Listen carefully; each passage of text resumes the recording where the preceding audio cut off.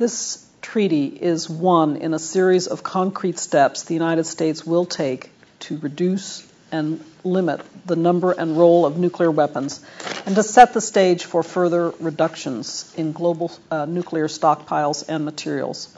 As we say in the preamble to the START Treaty, to the New START Treaty, we see it as providing new impetus to a step by step process of reducing and limiting nuclear arms with a view to expanding that process in the future to a multilateral approach.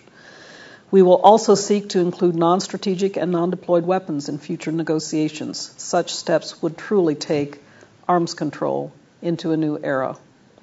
The agenda is ambitious, with a short term focus on ratifying the New START Treaty. That is priority number one and a longer term focus on other elements, including the negotiation of a fissile material cutoff treaty, and uh, Strobe has already mentioned the ratification of the Comprehensive Test Ban Treaty.